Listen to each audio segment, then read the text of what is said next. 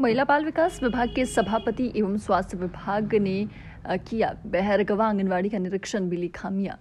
श्योपुर ज़िले के बराड़ तहसील के अंतर्गत आने वाले बेहरगवा आंगनवाड़ी केंद्र का श्रीमती सुषमा धाकर सभापति, महिला बाल विकास विभाग एवं स्वास्थ्य विभाग के द्वारा निरीक्षण किया गया, जहाँ पर ना ही बच्चे मिले और ना ही आंगनवाड़ी की आशा कार्यकर्ता बताया जा रहा है कि आशा कार्यकर्ता के द्वारा समय पर आंगनवाड़ी को ताला खोल कर डाल दिया जाता है। जिसमें ना तो कोई बच्चे आते हैं और ना ही वह खुद बैठती हैं, जिसके बाद समय पूरा होने के बाद बंद कर दिया है। वही ग्रामीणों ने बताया कि स्व सहायता समूहों के द्वारा मिलने वाले भोजन भी बच्चों को कभी कभी बांटा जाता है, जिसकी शिकायत ग्रामीणों ने वरिष्ठ अधिकारियों को कई बार अवगत कराया, लेकिन आज तक कोई कार्रवाई नहीं हुई है।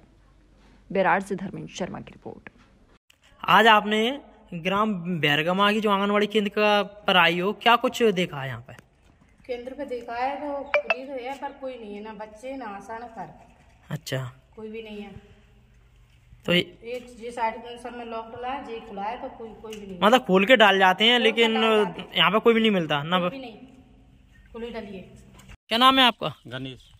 तो जो आपकी बैरगमा में जो आंगनबाड़ी केंद्र है तो यहाँ पे जो बच्चों को समूह में खाना वगैरह बढ़ता है कि नहीं बढ़ता? बढ़ जाता साला खाना। में अच्छा ऐसी स्थिति है? यही स्थिति है। और यहाँ पे कार्यकर्ता वगैरह जो आते थे जाते हैं। वो आशा? अच्छा निकाल के चली जाती है ऐसे और का? और बैठी रहता तू तो मतलब कार्यकर्ता नहीं आती यहाँ पे? बारह एक बजे आते हैं। कभी कभी बारह एक बजे देखो किसान आदमी कहाँ बैठे रहेंगे। क्या नाम भैया आपका? भरत। जो आंगनवाड़ी आपकी जो केंद्र है जो बैरगांव का क्या यहाँ पे समूह का खाना बच्चों के लिए बढ़ता है कि नहीं बढ़ता? नहीं बैठता कभी नहीं बढ़ता यहाँ? महीना साल महीना काना बैठता बहुत बैठता तो अच्छा मतलब स्थिति खराब है कुल मिला के तो को।